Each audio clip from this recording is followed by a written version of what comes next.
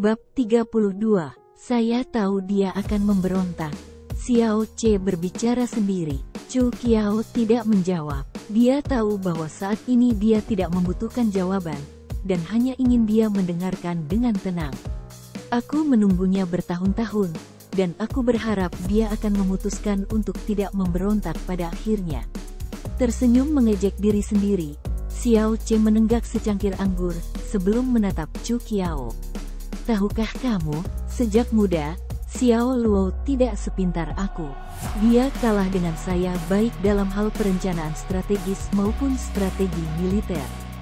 Satu-satunya hal yang dia lebih baik dariku adalah puisi. Dia berkata bahwa ketika dia dewasa, dia ingin menjadi seorang sarjana yang namanya akan dikenal di seluruh dunia, dan akan menemukan tempat yang indah untuk membuka sekolah. Dia bermimpi untuk menulis buku tentang seluruh benua Meng Barat. Sambil mengerutkan kening, Xiao Che diterangi oleh cahaya bulan yang masuk ke dalam ruangan melalui tirai. Diam-diam dia melanjutkan, sedikit yang dia tahu, saat aku menjadi putra mahkota, aku sudah mulai membuat perpustakaan di Anxing untuknya. Namun, karena kematian Fuer, saya kehilangan kesempatan untuk memberitahunya tentang hal itu. Alisnya tiba-tiba berkerut, dan dalam nada suaranya, orang bisa mendengar kebencian yang luar biasa. Dia memeras kata-kata berikut, mengapa dia harus memberontak? Cangkir anggur pecah menjadi dua. Potongan batu giok yang tajam menembus telapak tangannya, dan darah merah-merah menyembur keluar seperti bunga krabapel. Chu Kiao tiba-tiba teringat bagaimana bertahun-tahun yang lalu, di istana yang tepat ini, dengan latar belakang pohon ara, seorang pria berbaju hijau berdiri di sana dengan damai dan lembut. Dia memperkenalkan dirinya, saya Raja Luo. Pada saat itu, di sudut ingatan seseorang yang tertutup debu, waktu telah terbalik, ketika tiga anak muda berlarian di istana yang tenang dan besar ini. Tawa mereka seperti angin musim panas, menghancurkan kabut tebal yang menutupi istana terlarang ini dan mengusir kegelapan politik di istana. Fuer, bukankah kita setuju bahwa hari ini kamu akan menjadi istriku? Kemarin, dan sehari sebelumnya, selalu dia. Hari ini, giliranku. Aku tidak mau. Mengapa? Kamu harus menepati janjimu. Aku tidak mau. Hem, aku akan memberitahu ayahku, dan menikahimu sekarang. Aku tidak mau. Saya tidak mau. Ah, Anda. Bagaimana Anda bisa menggigit orang lain? Cukup, kalian berdua harus berhenti membuat keributan. Anda harus pergi ke ruang belajar untuk pelajaran. Kakak Luo, putra mahkota menggertakku. Kakak apa? Anda harus memanggilnya sebagai paman. Paman, Fuer sakit dan menggigit orang lain. Saya akan mencari dokter, dan tidak bisa mengikuti pelajaran hari ini.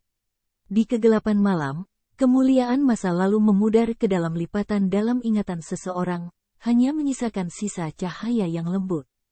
Di bawah sinar bulan yang dingin, bahkan dengan panas terik musim panas, seseorang akan merinding saat menggigil naik melalui tulang belakang, menawarkan kelegaan dari panas yang tidak nyaman.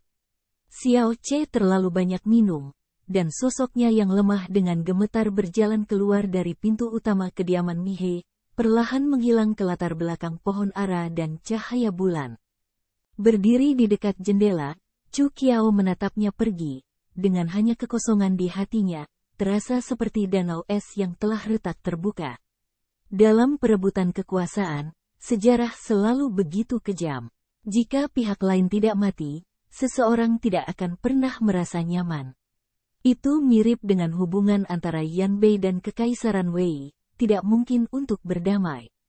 Dia tiba-tiba memikirkan Yan Sun, dan teringat bagaimana perasaannya saat dia membunuh Tuan Wu dan yang lainnya. Mungkin situasinya berbeda, tetapi pada akhirnya kedua konflik tersebut muncul dari perebutan kekuasaan. Jika Xiao Che merasa sedih atas kematian Raja Luo, apakah Yan Sun akan menyesali tindakannya hari itu? Deru keputusasaan yang diberikan Huan-Huan sebelum kematiannya bercampur dengan teriakan kematian tentara Sisyo. Suara menusuk membuat malapetaka di benaknya. Saat gedung pencakar langit dibangun, pada akhirnya hanya satu yang akan mencapai puncaknya. Sebelum itu terjadi, beribu-ribu akan jatuh, menjadi batu loncatan menuju kenaikan orang itu. Di samping meja, ada beberapa tetesan cairan bening yang tidak mengeluarkan aroma alkohol. Itu berkilau di bawah sinar bulan. Ada lonceng angin yang tertutup pasir dan debu. Jika Anda bebas, Nona, Anda dapat meminta pelayan untuk membersihkannya. Di angin musim gugur, bel terdengar renyah dan merdu, sebuah suara tenang bergema di belakang kepalanya. Chu Kiao berjalan mendekat dan mengulurkan tangannya untuk menyentuh bel, hanya untuk mendengar deru saat tali yang menahan bel putus, dan ornamen jatuh ke kolam di bawah, menciptakan cipratan, diikuti oleh gelombang riak. Tahun 780, tanggal 20 Agustus Xiao Luo dari Gunung Mei dikalahkan dan mati oleh sungai Hansui. Pada tahun yang sama, pada tanggal 1 September tiga putra dan dua putri Xiao Luo dipenggal di Gunung Mei, dan 21 Jenderal Xiao Luo terbunuh. Jenderal Susu secara pribadi mengawasi eksekusi tersebut, dan atas perintahnya, puluhan nyawa hilang dalam sekejap. Pada hari itu, Mei siang masuk, dan di pakaiannya, ada beberapa kelopak bunga putih bersih.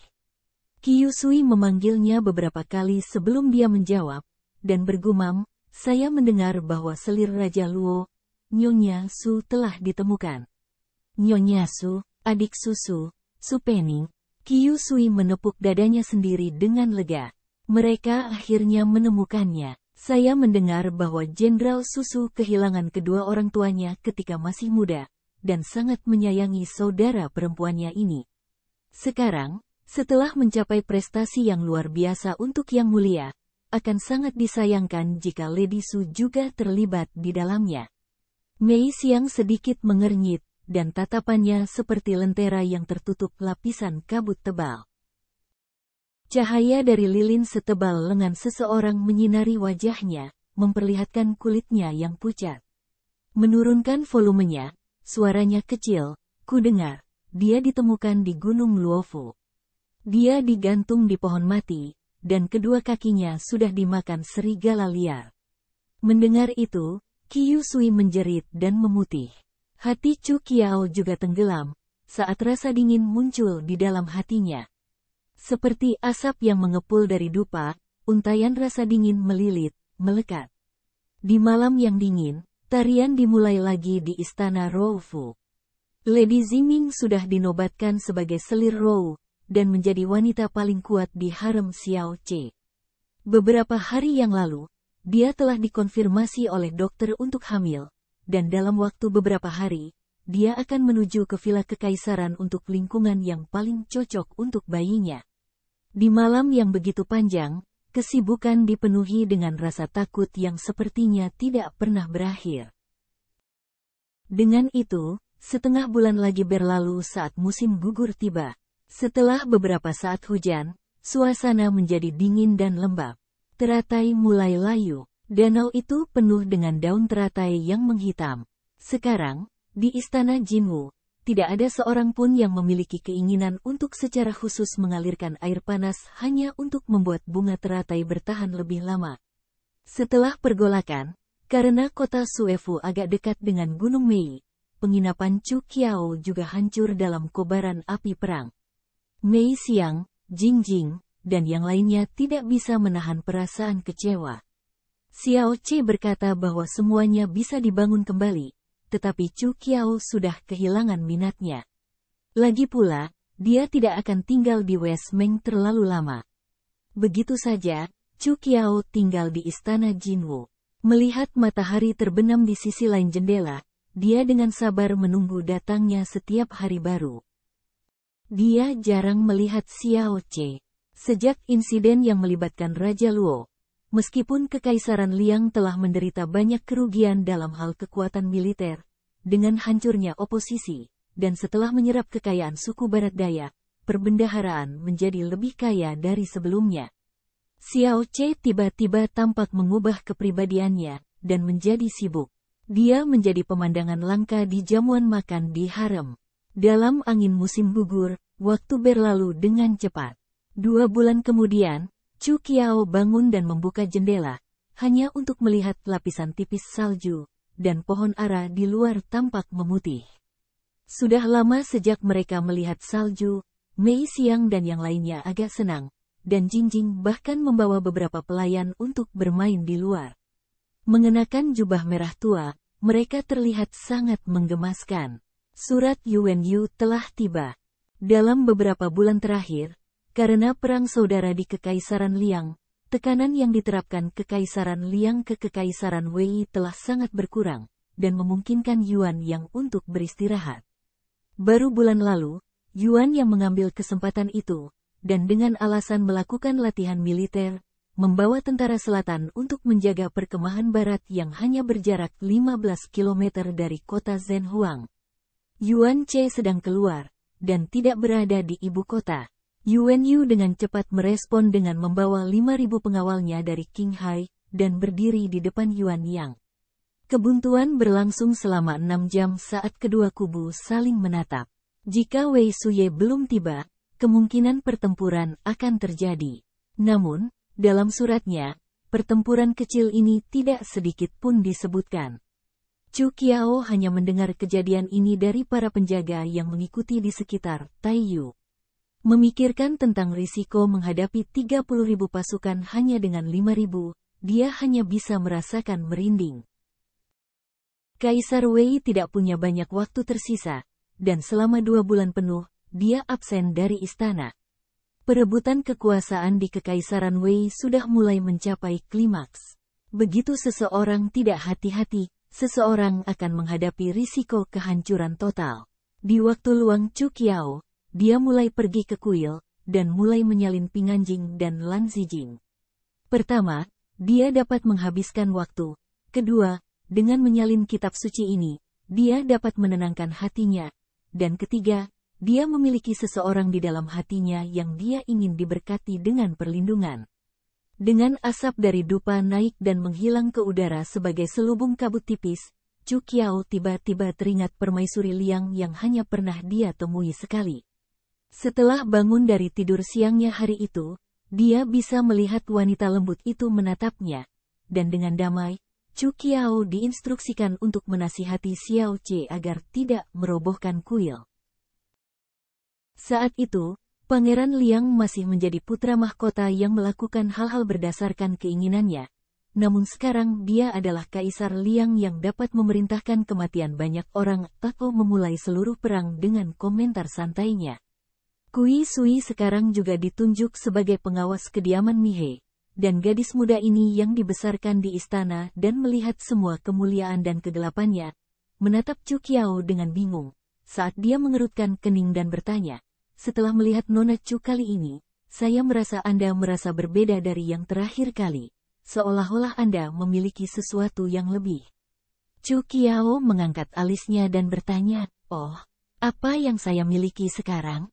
Kui Sui tersenyum, dan dengan sisir yang terbuat dari tanduk sapi, dia merapikan rambut Chu Kiao, dan dengan tenang menjelaskan, terakhir kali Nona kembali dari Yanbei, kamu seperti teratai layu di akhir musim panas. Sekarang, kamu tampak seperti bunga teratai yang baru saja melewati musim dingin. Benar-benar, Chu Kiao memiringkan kepalanya, dan jari-jari porselennya melewati rambutnya yang lebat. Ekspresinya seperti pohon yang berdiri di tepi sungai setelah musim dingin baru saja berlalu. Ketajaman di matanya telah hilang, seolah-olah sepuluh tahun prajurit hanyalah sebuah mimpi. Tinggal di istana Jinwu, dia hanya menunggu dengan sabar, dan waktu yang mengalir akhirnya memberinya kesempatan untuk merasa damai. Menjelang akhir tahun, dia bertemu He Xiao. Di musim dingin yang dingin, dia mengenakan jubah bulu putih keperakan, dan saat dia berjalan-jalan di pavilion Baize bersama Mei Xiang, dia kebetulan melihat He Xiao yang baru saja keluar dari istana Yixin. Dia sudah diangkat menjadi mayor di perkemahan selatan kerajaan Liang, dan merupakan pejabat peringkat tiga yang secara khusus diperhatikan oleh Xiao Che. Meskipun ini adalah harem, He Xiao masih bisa masuk dan keluar dengan bebas. Sejak berpisah dengan Chu Qiao dalam pertempuran itu, ini adalah pertama kalinya mereka bertemu. Duo itu pasti sangat canggung. Bibir He Xiao bergetar, karena dia ingin memanggilnya sebagai Tuan, tetapi kata-kata itu akhirnya berhenti di mulutnya, dan dia memanggil Nyonya Chu. Melambai, Chu Qiao membubarkan para pelayan, dan hanya dengan Mei Xiang, dia menuju pavilion Baize. Mengenakan seragam resmi hijau, He Xiao tegas dan tampan, dan memiliki aura tertentu yang hanya bisa dikembangkan setelah melalui banyak pasang surut dalam hidup. Mei Xiang berdiri di luar pavilion, dan saat angin bertiup, jubah Chu Qiao bergoyang, seperti kepulan asap. Dia tidak banyak bicara, dan hanya berdiri menghadap angin. Pavilion itu tinggi, dan di bawahnya ada air yang mengalir keluar dari kolam Tai King. Air mengalir ke bawah, menghasilkan suara percikan. Suara He Xiao yang tenang dan tegas terdengar dari belakang, dengan tenang dan tenang. Angin di sini agak liat, mungkin agak buruk untuk kesehatan Lady. Akan lebih baik untuk kembali beristirahat. Bukankah angin di Yanbei bahkan lebih besar? Chu Qiao berbalik dengan wajah yang sangat tenang. Namun matanya tampak terselubung oleh sesuatu, menyebabkan orang lain tidak dapat membaca emosinya. Dia terus bertanya, He Xiao, apakah kamu menyalahkanku?